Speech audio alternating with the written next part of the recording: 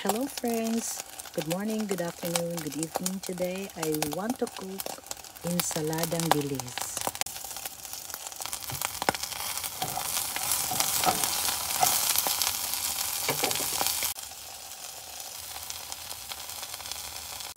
So it's done guys. This is my ensaladang dilis for lunch.